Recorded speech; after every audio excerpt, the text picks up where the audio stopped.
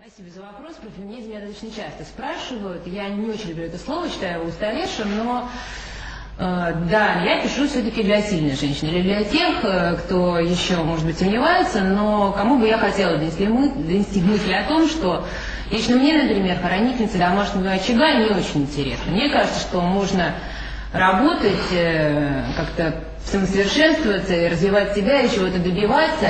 И Несите! Он это живой?